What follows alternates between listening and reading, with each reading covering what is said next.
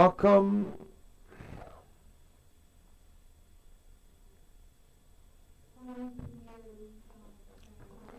The first um, lecturer would be Osmond Coelho Jr., who's our uh, contract management director. Thank you. Samir is very tall, and the microphone is. Well, uh, good morning to all of you. It's a privilege to be here talking or lecturing to you or mention, to be in the presence of our Minister Bento, of our President, of our directors. I'm not going to cite everyone, but it's a pleasure to have so many uh, known uh, friends here. Uh, we'll have a debate today, here today. One of them will be uh, a Canadian, Scott. So we're waiting for a uh, receiver for the translation, a translation receiver, so that he can listen to and take part in our debate, so that he cannot, he need not learn Portuguese immediately. Hi, Scott. Could you raise your hand if um, uh, you're hearing? Good. Wonderful.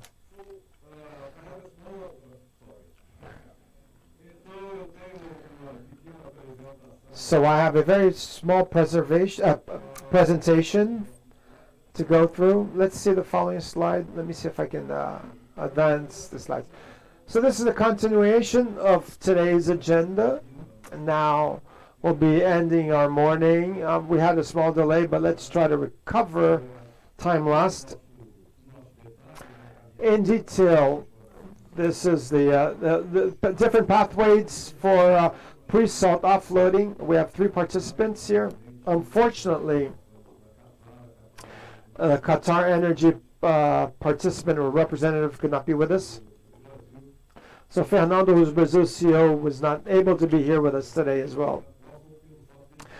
I don't know if that's because of the uh, World Cup or the fact that he's Argentinian. But anyway, they had already let us know that he couldn't be here. But you three here will be, uh, will certainly make up for it. Thank you.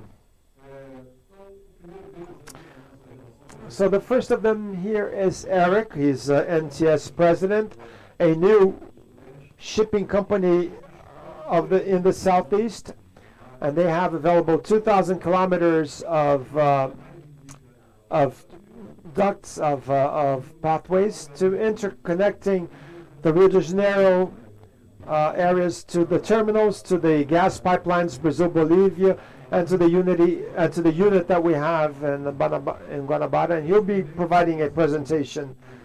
We also have Marcelo Menicucci. He's a member of the consultancy uh, board at Gasbridge. Gasbridge is a Brazilian company currently active in the value-added uh, natural gas chain. They have wonderful professionals in the area, and they propose to bring us solutions, technical solutions as well as financial solutions to this market. And Scott, who's uh, off, uh, who's development, who's manager of uh, business and marketing at Enbridge, a Canadian company that works in distribution and shipping of gas. They they uh, ship 30% of the oil in the United States and 20% of the natural gas in the United States using a huge network, especially in the Gulf. The company is based in Calgary, and they're over with over 12,000 professionals as employees. So these are the uh, panelists that will be with us right now. We'll be talking about this uh, theme, which is gas. We've been uh, observing that gas is becoming ever more relevant and important. When I was yet a young, when we worked in uh, uh, production and drilling, many years ago, it was a problem, but after 30 or 40 years, gas is now a solution, has become a solution. It is the fuel the transition fuel, it is also uh, it also is very responsible for energy security. We can see the effects of it in the war right now in Europe, and we're very lucky to have. Uh, and we've seen this morning in Gerk, our our president, uh, show us that a good part of the gas is associated to the increase in production in Brazil. And in 10 years here, we're likely, we will likely double our production of gas coming from the pre-salt fields. And pre-salt is responsible for a huge volume, is a huge volume of our total gas production. We should also consider in this process, we've also talked about, we're also seeing other discoveries. Ronan showed us a wonderful lecture. It is important that we consider that currently, especially in my opinion, gas reinjection is already a standard procedure. We there's no we cannot uh, question the benefits that reinjection brings us, and we should uh, subtract it from this volume. But still, we still have a significant volume available for offloading, and we've taken this idea. Uh, even if the market is still a bit uncertain, we've considered this idea. We've taken this idea, and this is a, part of our institutional responsibility. We've talked about uh, send, uh, talking about this gas uh, to the consortiums. It is not economic right now because the volume of each project is a volume that may not justify the full investment that we need to invest in an offloading uh, network. So hearing uh, Samir speaking, we were he talked not only about the unit, but he talked about the he talked about the, the, the pool, the cooperation among companies, my gas, your gas. That could be enough to make feasible some kind of offloading that could be beneficial for all. So our idea today is to have these three midstream participants. We'd like to listen from them. What are the solutions? How are they implementable? And why is it that we have not yet still been able to implement them here in Brazil? Is it a cooperation problem? Is it a volume problem? Is it a problem of uh, economic uh, uh, strength or, or, or feasibility? But we're here, all of us. I can see the government, the industries, midstream, we're all together to try to find a solution. So the idea is that we can discuss, ask some questions. We're a bit tight on time but it will certainly be a productive uh, discussion. So thank you. I'd like to first bring Eric for his um, lecture.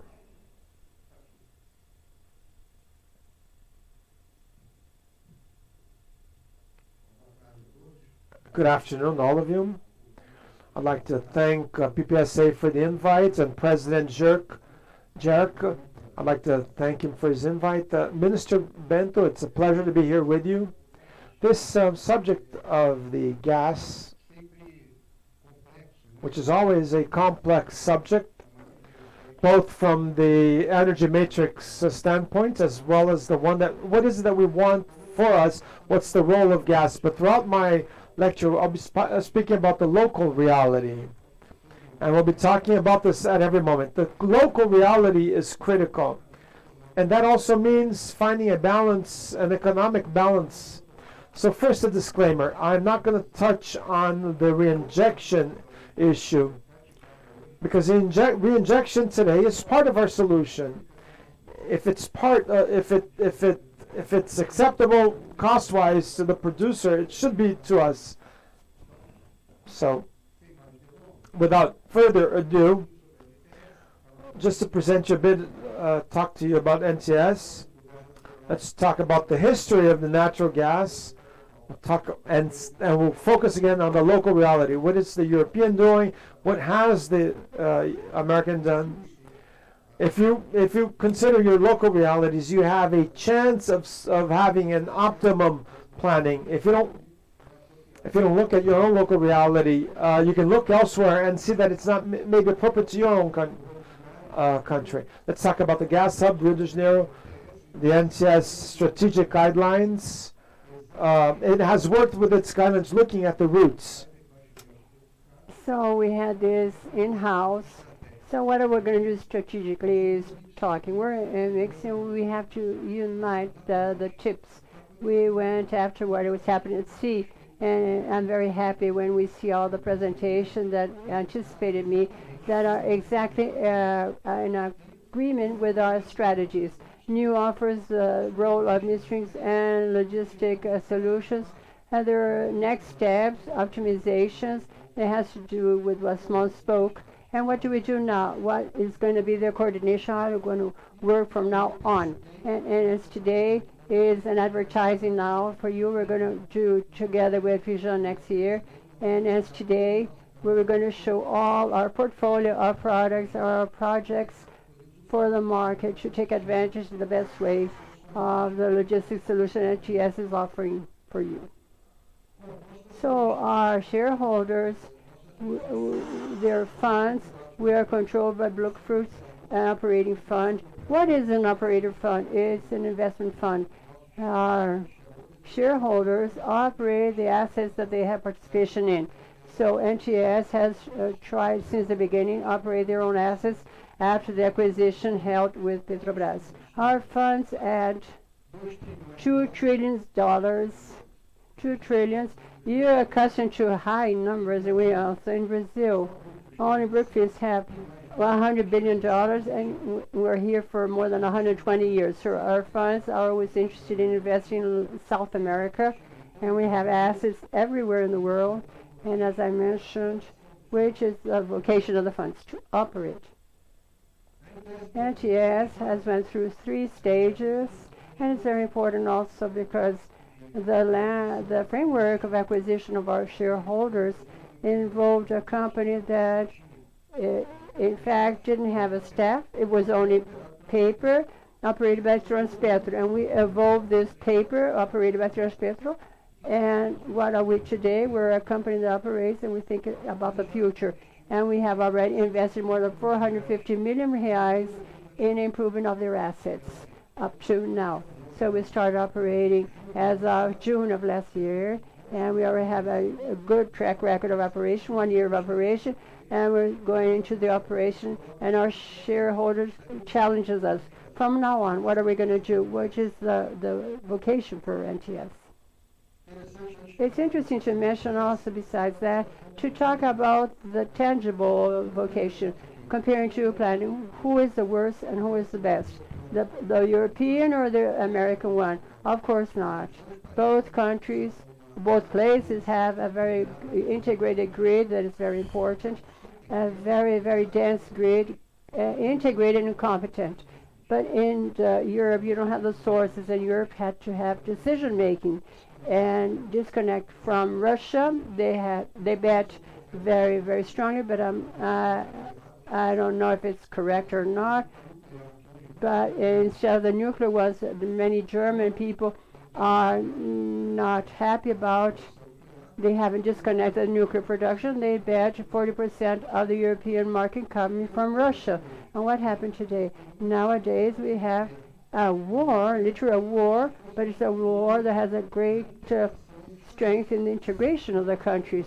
So the European grade, integrated one, they have stock. They have important hubs like the Belgium hub, the Zeebrugge hub, that is a hub that is literally uh, having all the supply when you don't have any supply coming from Russia. And the German one, it's also integrated and it's strong. It's also very dense. However, it has a full production. That's a local reality. So what do they do? They export. So, which is the secret? the great lesson learned when you compare both cases. Who has don't import? Who has uh, developed and export? Those who don't have, they have to find a way and they diversify. Perhaps the great uh, mistake, between quotation marks, was the lack of sources. 40% came from a single source. It's complicated. We went through this in Brazil. Let's talk about this further on. Ela já foi embora, mulher. Essa era por causa This was very strong and participated in, in, the project from the beginning, but there was a doubt. Will we depend on them? No. So this discussion has to be connected to the local reality. We didn't have the pre-salt when we put Bolivia Brazil. We didn't have a reality we have nowadays.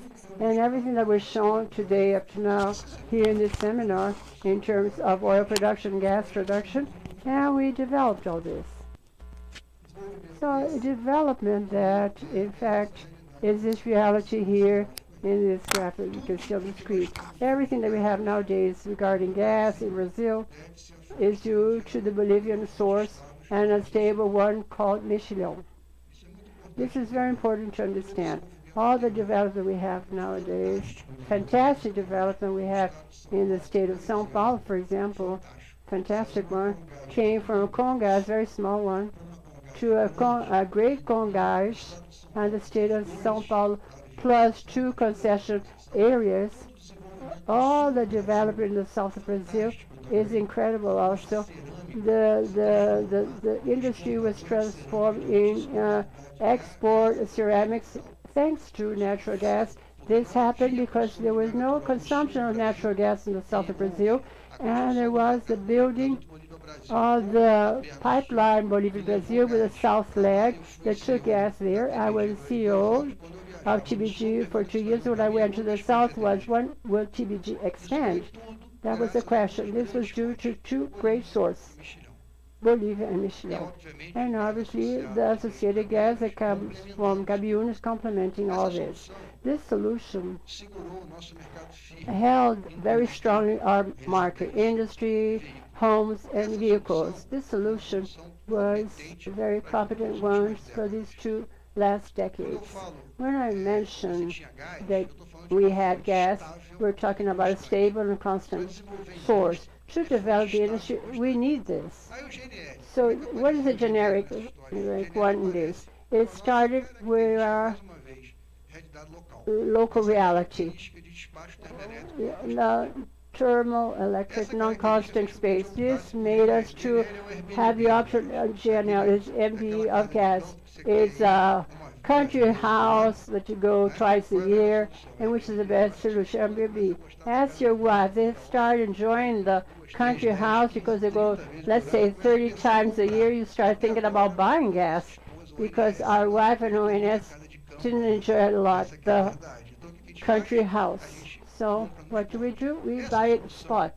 And this solution is a solution that Brazil adopted during the last two decades. The question that we ask is, everything that you have seen here today, and we've been talking with the producers through PPSA, IBP, Petrobras, Shell, Galp, and all total also we're chatting along, how is this curve going to be from now on? That's a great question. How do we fit the curve that you have seen today during our seminar with this curve here in order for us to maintain the status quo or change the status quo? That's the question. What do we want? Do we want to invest in GNL in the firm's market? Do you want to depend more on Bolivia? Do you want to depend more on GNL? Or we don't want anyone and we want to continue maintaining a status quo of gas for a strong market. So then a sad thing comes with hydrocarbons. They end. The problem is that you don't find them in the same place when you created the infrastructure. That's the problem with the hydrocarbons and also all the other minerals. That's what we're doing nowadays. The logistic solution of GS looks for new sources and which the best logistical allocation for us not lose this status quo because the status quo that's here is the one everybody dreams about. A firm and stable market and gas, or flexible one, market and gas, in order to increase the amount of terminals, to increase also the stock, and depend on someone or some agent, some trader, or some situation where in case we have a war, which is not very common, you will be with a lot of problems. So, considering the local reality, and I will pass very briefly because everybody knows very well this, we started to see exactly this condition. What is going to happen in a, uh, uh, offer and demand in Brazil the next 10 years when the natural drop of Bolivia comes.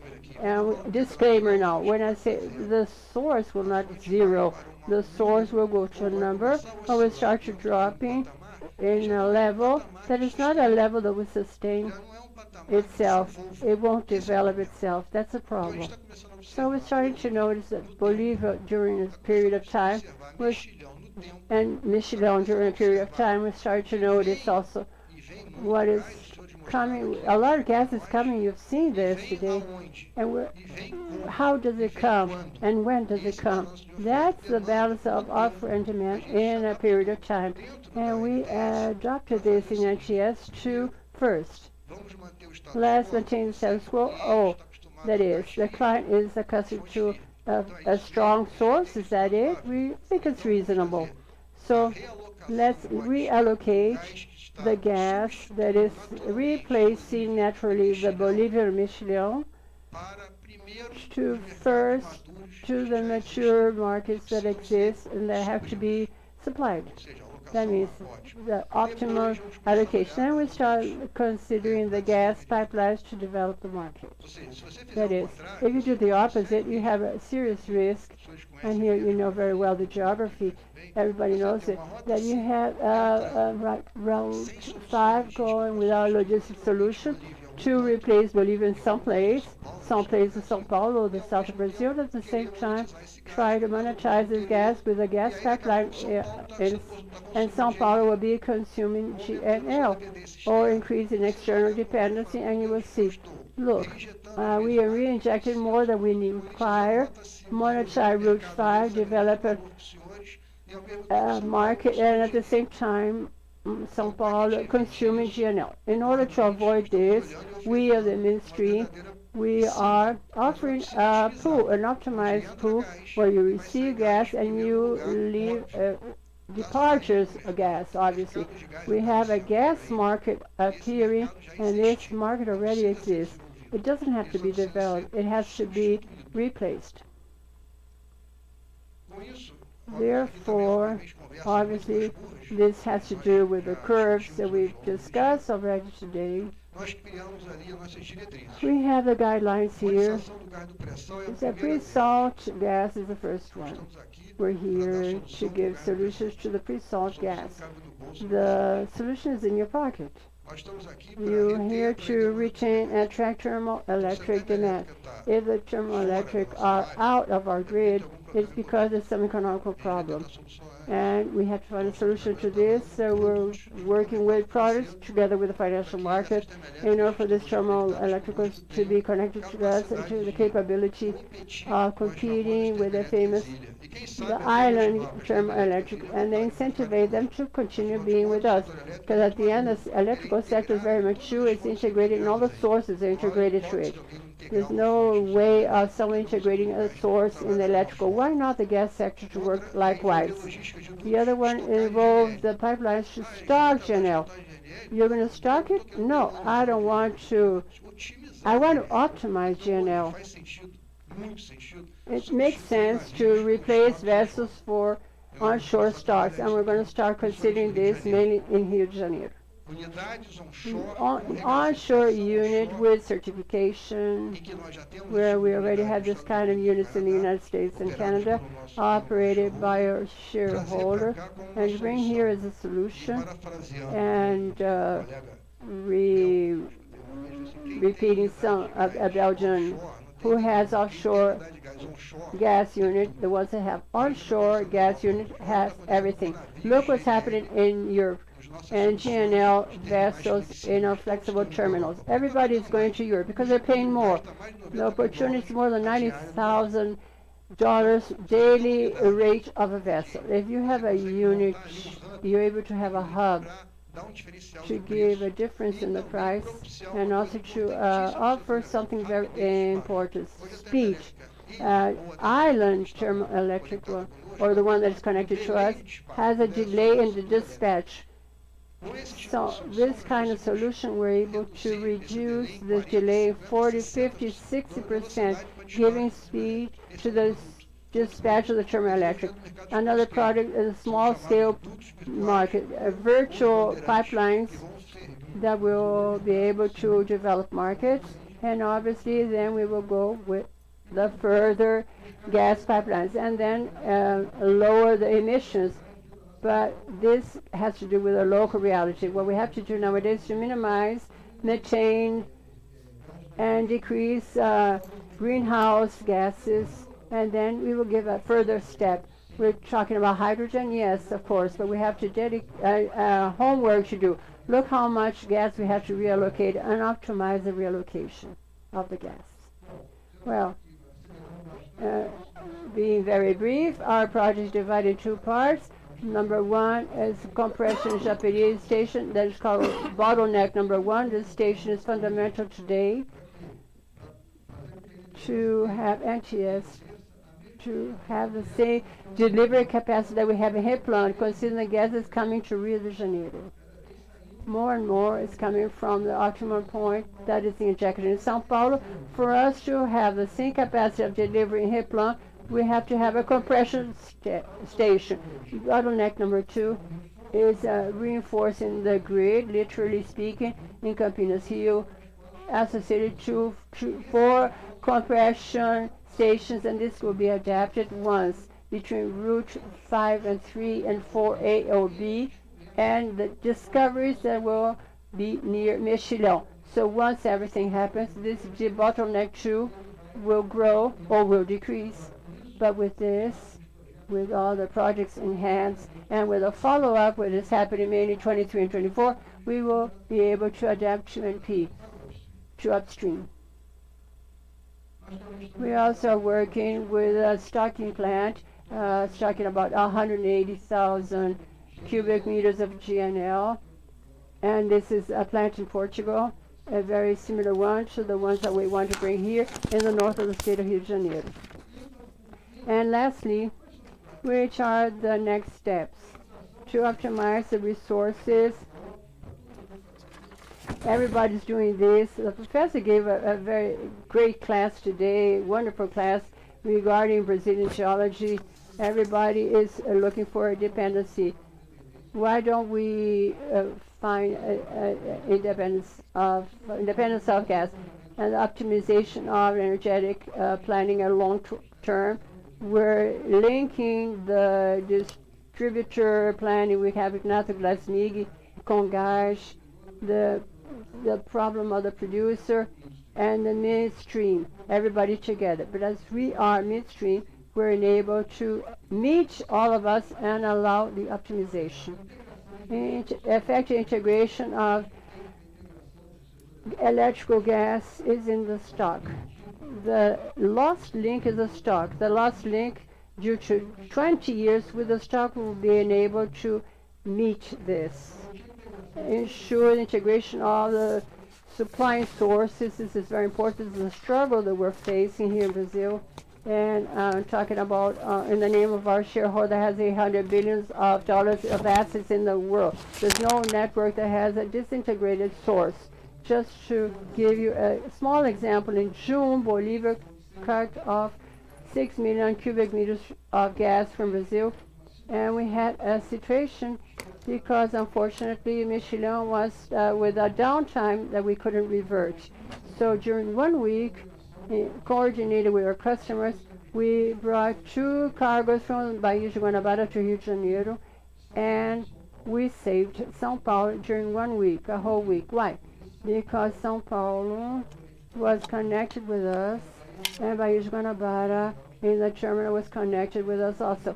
So imagine, ladies and gentlemen, if Bahia de Guanabara wasn't interconnected to our grid, what would happen?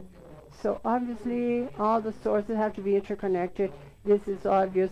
This is an issue of principles.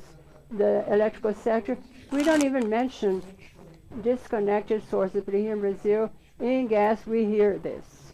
And this is a struggle that I request your help here, the producers helping us to be together with us as we were in the issuance of the Law Gas Act that was so successful. And this is uh, the process. We have the, the offer capacity, and we suggest you put the, in the Google search for this. It was developed in GVG, and it's the Amazon of gas. What is it? It's literally Amazon. You want to buy a molecule, you go into pocket, the pocket website where you have a molecule, where you don't have molecules, and you have a logistic link between the consumer and the seller. The pocket is a reality. It works for NTS and TBG and TAG, and we three are partners of Pocket, and we are having a great effort with ANP for Pocket to replace the te- public tenders. Uh, we've heard about continuous auctions 24 hours per day, 365 days per year. This idea of pocket are not allowed to uh, public tenders to allow producers to disconnect from the consumers. The pocket is a reality. Of course, it's going to be offered within an auditable system. That's what we're seeing with ANP. And if everything is okay the next quarter, we won't have public tenders. I'm sorry if I extended myself. Thank you.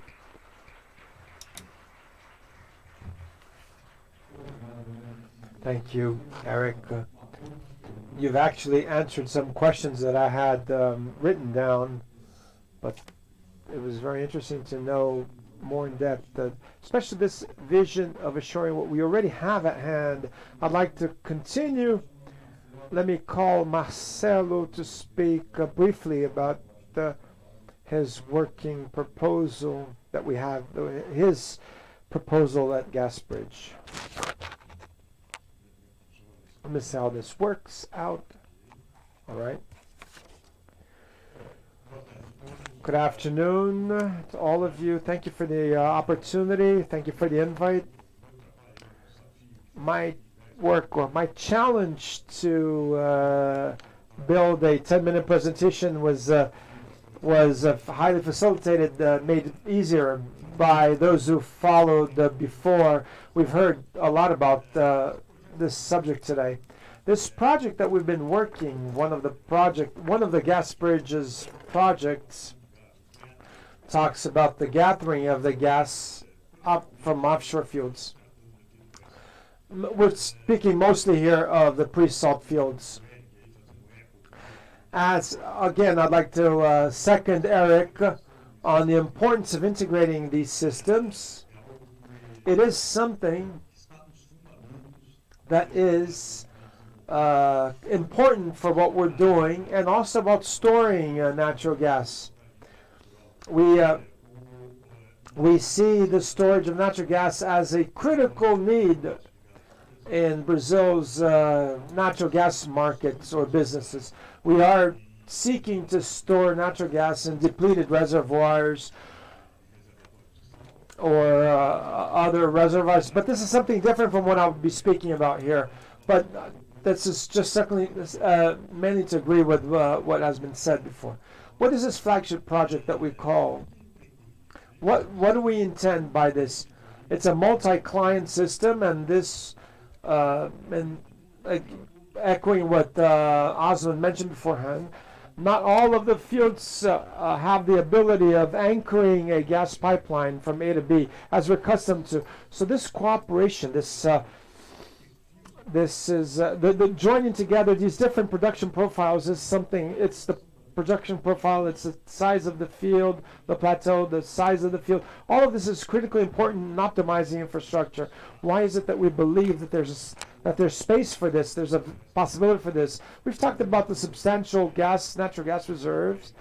Again, following, uh, uh, seconding what Eric just said, we're not going to be speaking about the injection or the reinjection. We do recognize that there's much space if it's economical or not to reinject gas. If it is, continue with it. If not, let's try to offload this gas somehow.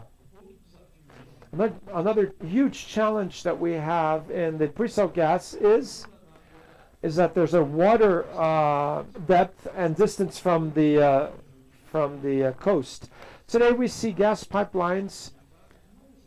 Today the gas is, the gas pipelines are very expensive, not because of the pipeline costs, but the, the cost of launching, of installing, implementing that. Everything is very expensive to be able to ha have these gas pipelines installed at the depths that we need in the pre-salt.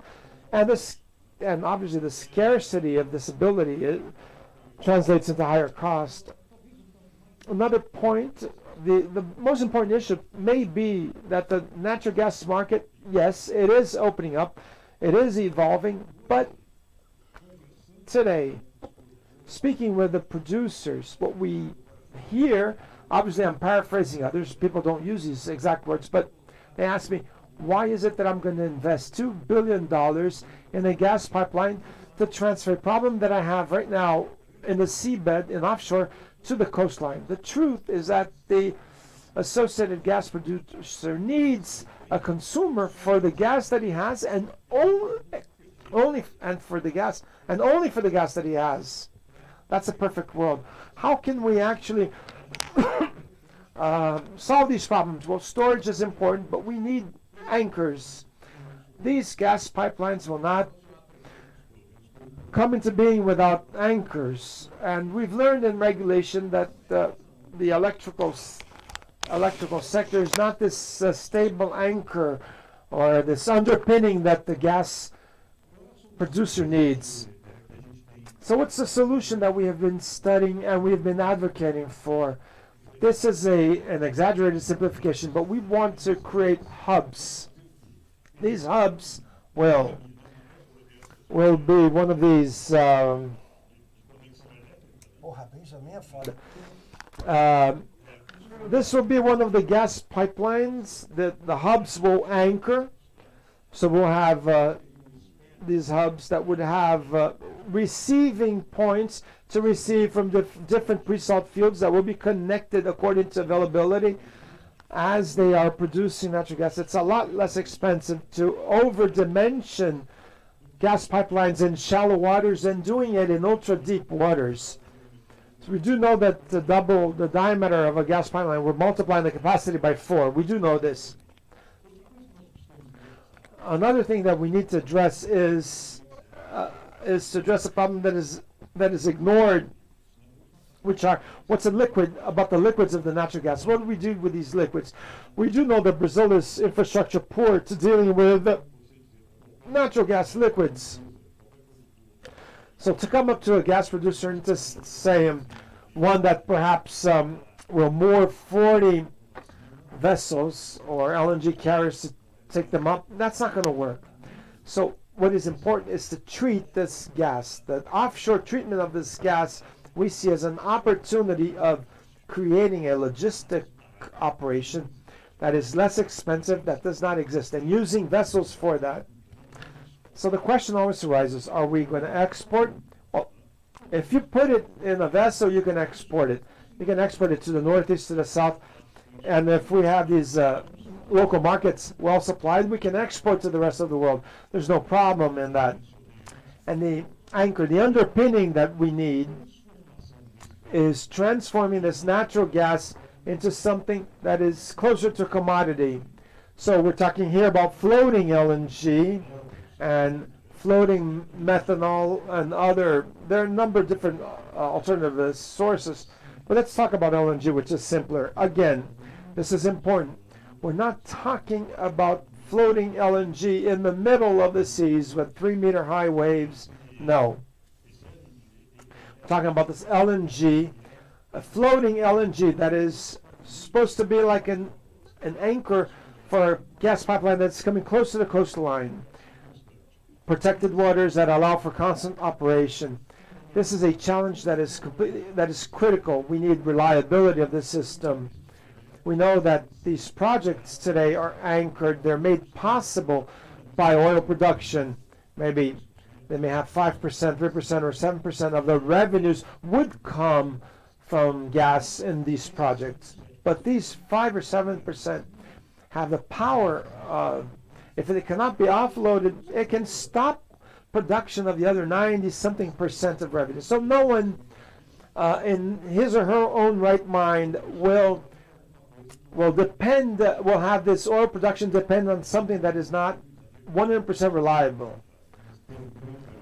Anyway, highly reliable at any rate. So the idea is to create these systems such as this one which will allow the growth scaled growth using this anchor, this underpinning that we consider to be critical.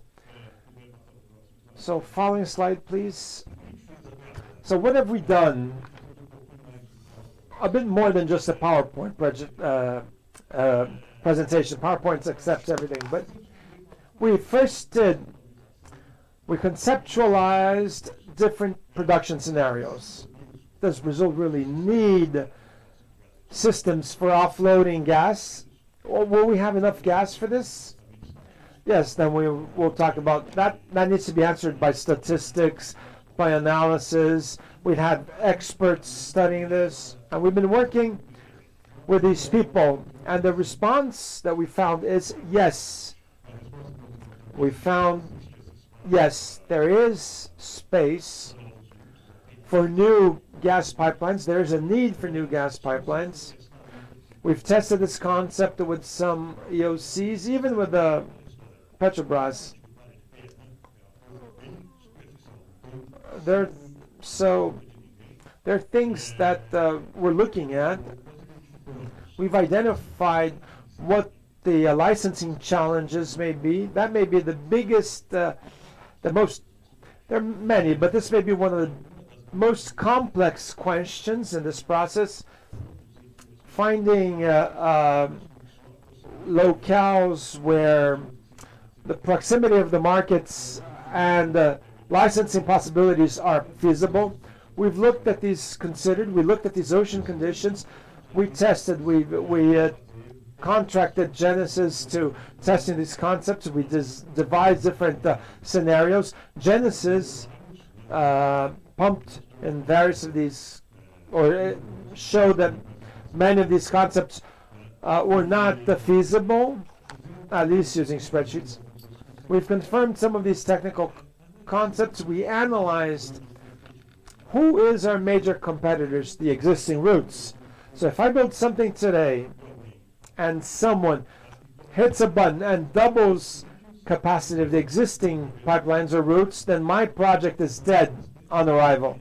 So we analyzed we looked at the restrictions, obviously considering the restriction of the information. We looked at the possibilities of increasing this network that we still believe will allow us to create more space for developing new infrastructure.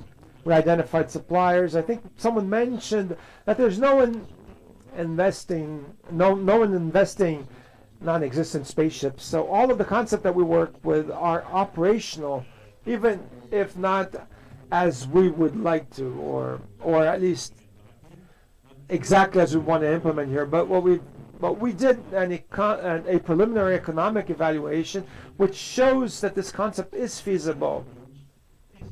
We basic we we we looked at the question: Is this LNG to be produced here competitive worldwide? Yes.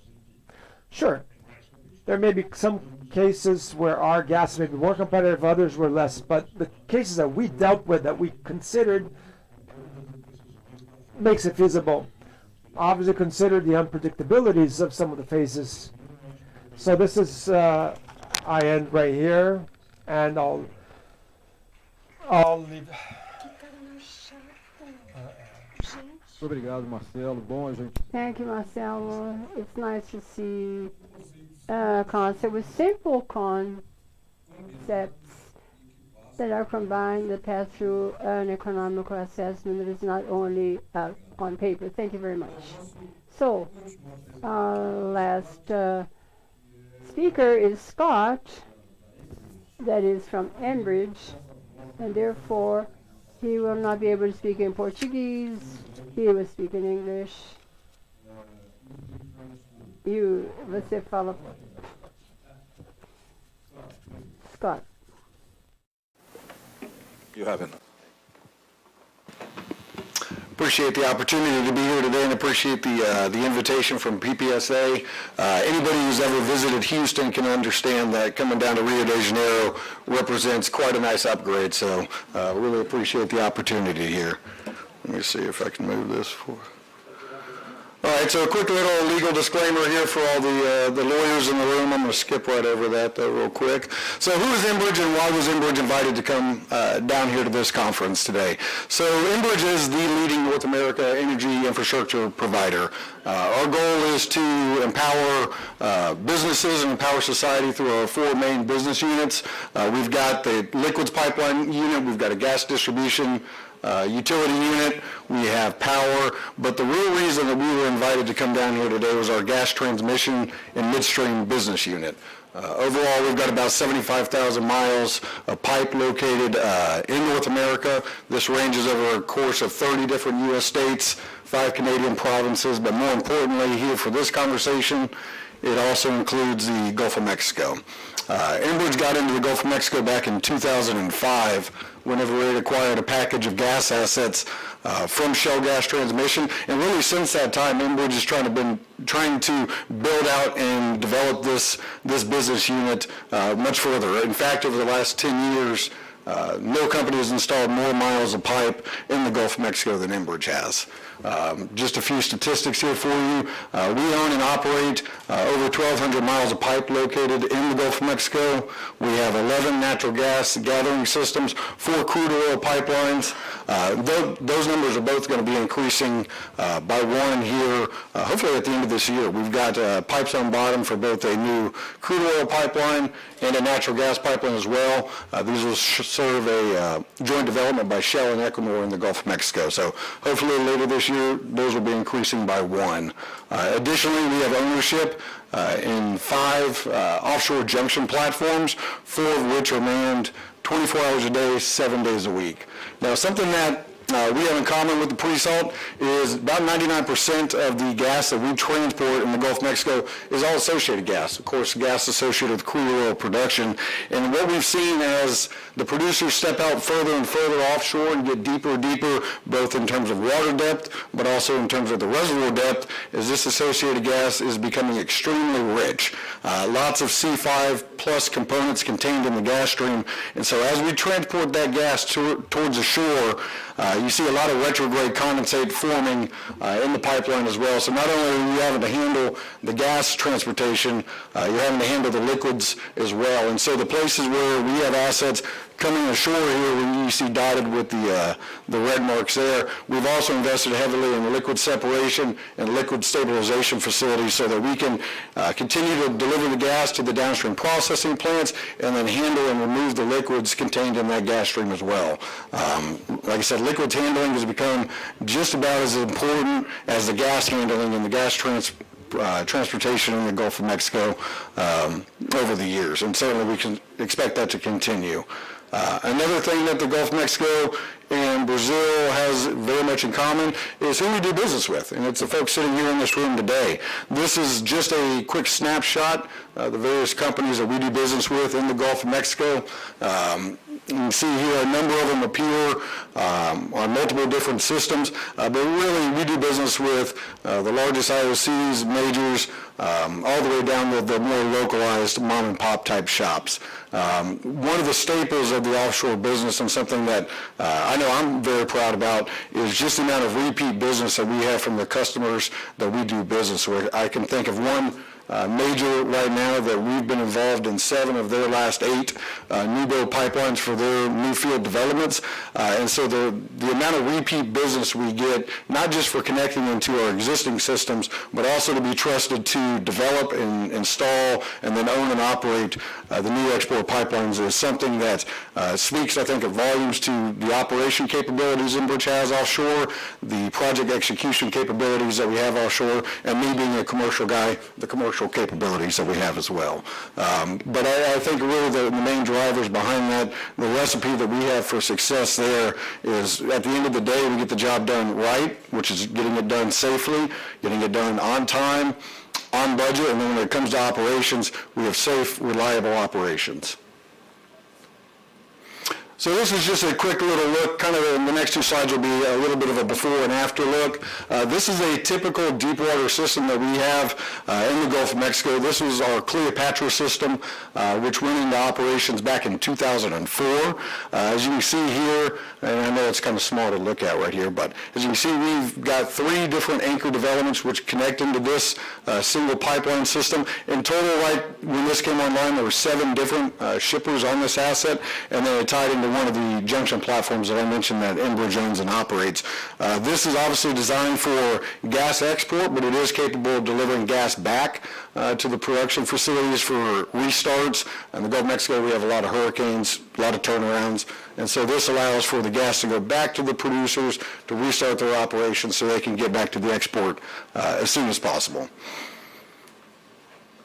This is what that exact same system looks like today. Uh, so as you can see here, we've added three different uh, developments onto this system. Uh, in total, that brings the, the shippers on this pipeline uh, up to about 17, I believe, um, serving these three different developments. And we were able to do this through the installation uh, at the outset of inline sleds. This is something that we work very closely with the producer community in regards to, uh, trying to understand what their needs are, what their future plans are, where they see future development opportunities at. And we work with them and it pre-install these inline sleds so that down the road, we can make the connections in the most effective and most cost-effective way possible.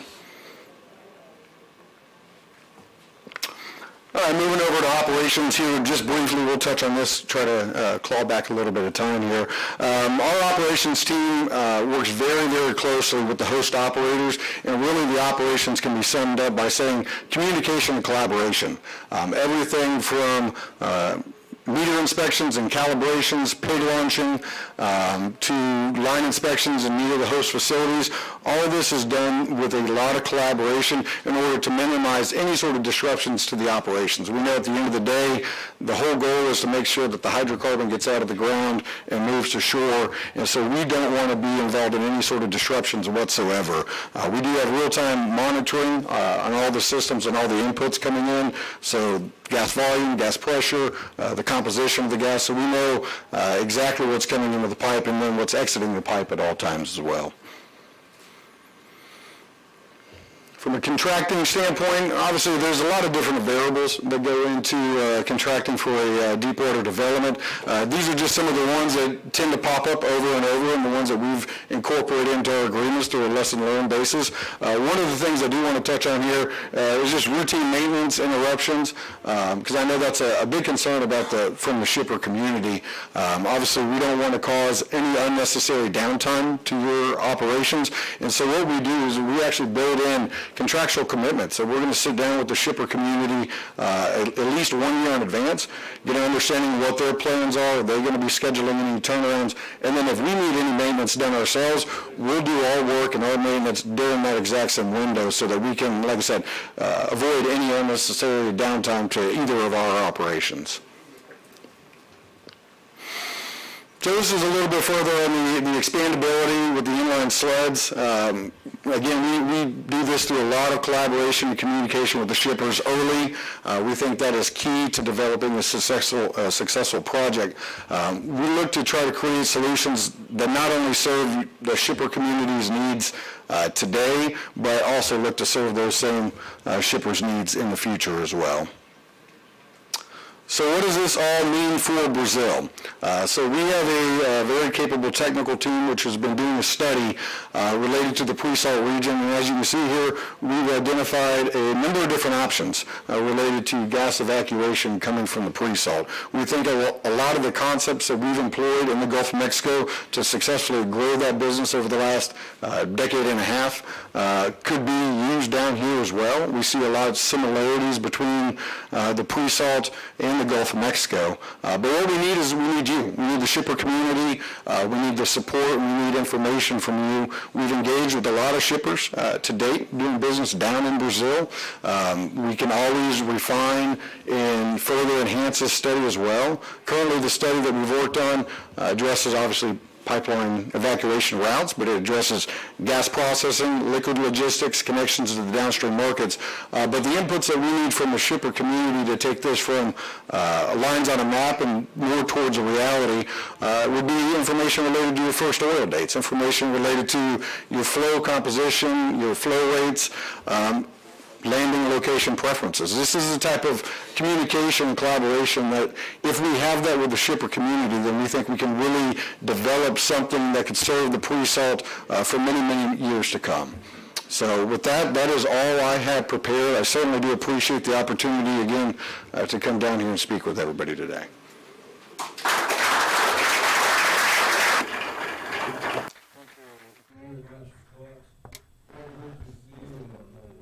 Muito obrigado, Scott. É ótimo ver um, um modelo de, alto, de muito sucesso voltando ao Brasil. So now we're uh, running very low on time. Theoretically, we should have uh, ended uh, this um this morning's events at 12:30. So and it's almost 1 a- 1 p.m. So we won't have much time available for questions. So Maria Luisa tells me that we would have time for one question. So I am going to be asking the question, and the question I am going to ask this question one oh one sole question to all three of you, trying to summarize everything that we seek with these uh, presentations and these discussions. In your vision, what still prevents us from evolving with these models, with these improvements, with these investments, and even more, what is it that we can do from our end in government, industry, in terms of exploration and production and consortiums. What can we do to help in this evolution? Can I start with you, Eric? Wonderful question. The technical, the technical uh, issue, we've solved. We already have it. We've mapped pretty much all of the possibilities that we could have on in the in our coastline and the optimum location of the gas. So we're prepared. Uh, we have bottleneck one, bottleneck two, and we're also uh, prepared in terms of LNG storage. We've talked to all of the other um, agents. What are the following steps? The next steps. First, we need to coordinate with the M, with the Ministry of Mines and Energy. Now we're going to have the big that, that's going to come out with bottleneck one and two. What we need now is uh, as in look to comparing with our legal milestone that we've come that we've uh, achieved here. After the legal milestone, we built a uh, a monitoring desk for the legal milestone, and they've asked me, "Do you need another legal milestone?" No. Now we need to monitor and follow up and implement these projects. Why? So that tomorrow, or in five or ten years, uh, someone says, "Well, Bolivia no longer has. Now I'm using more LNG in Sao Paulo than I needed." Wow, Route Route Five has no uh, gas storage available. So before we need to propose to the producer, listen, I have a pre-salt corridor here.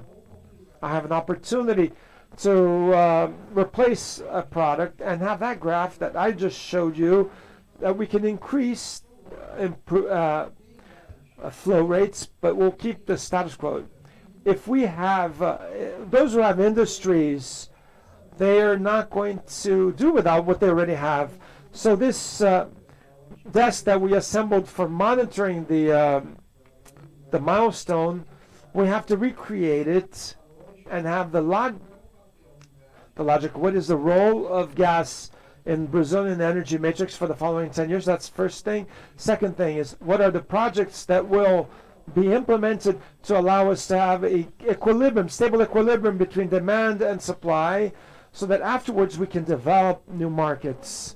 First of all, it's coordination. But the same coordination that we had that was very successful when we implemented the, the legislation, the gas legislation. Um, mine's going to be a little bit of a two-part, uh, I guess, response to that question here. The first would be uh, ensuring that there's equivalence. Uh, from a taxation and cost recovery standpoint, as long as there's a perceived benefit uh, for maybe a uh, producer-owned solution versus a third party like Enbridge-owned solution, if there's a benefit one way or the other, then that's always going to be the answer, the, the, the way that the producer community goes. So as long as we can uh, achieve equivalence with either a third-party owned solution or a producer-owned solution, uh, then I think then there's an opportunity there to develop the offshore and the pre-salt for a, uh, a new route to shore. Uh, the second is, is also just a kind of a mind shift uh, paradigm from the producer community about the, the control of your own destiny uh, type of philosophy. We saw that a lot uh, in the Gulf of Mexico, and it took many, many years to overcome that, uh, and such that we've worked with the producer community to get them comfortable to understand that uh, a company like Enbridge is capable of, of not holding up your multi-billion dollar developments with the pipeline piece. I think we can all recognize that would be a very, very bad day for everybody if the upstream development's ready for service and the pipeline is not. Uh, and so we've worked with the producer community to, um, to, to kind of ease that fear. Um, in fact, typically we have our pipe on bottom at least 12 months in advance of first oil, just so we can make sure that we're gone and clear and we're not going to be holding up any of the development. Desenvolvimento do produtor. Eu, Essa é a questão. eu não posso deixar de I have to repeat what Scott had mentioned, a very fundamental issue. Our regulating framework is not prepared for an independent midstream, mainly in the issues of cost recovery in the case of pre-salt and also in the case of taxes. So it's extremely complicated. We have to understand this. And likewise, I think this al- commercial alignment between different among different partners in order to create this reliability in operation that they will be uh, holding their oil production in an infrastructure operated by third parties. In fact, it has to be very well considered. And this only is built with time. We will have surprises, but I think we must start to work in this. Excellent. Well, we've reached the end of our incredibly productive chat. Uh, we delayed a little bit, Maria Luisa, but I have to show my appreciation to our speakers. They were wonderful. They brought a lot of modern insights, something that we can really consider in order to reach what we want, what we heard here, uh, cooperation and reliability, and these are things that we Brazilians are accustomed to work like this. So uh, apparently we've done a lot in the past, we have a lot to do in the future, but the path is this, it's given, and little by little we will reach this and we'll take advantage of everything that we've heard this about this today in the piece. I would thank you very much. Let's clap our hands for everybody. And pass the floor to Maria Luisa. Thank you very much to all of you. Okay, today we will still have a technical table in the afternoon uh, for some guests. Uh, the debate will be prevention and the struggle against the fluid circulation in the pre-salt. Uh, the action is a result of the technical committee of PPSA. This event will continue this afternoon, but now in the morning we're ending. And thank you very much to the speakers, you here also, all the audience, and to the moderators also of our panel. Thank you very much. Until next year. Thank you.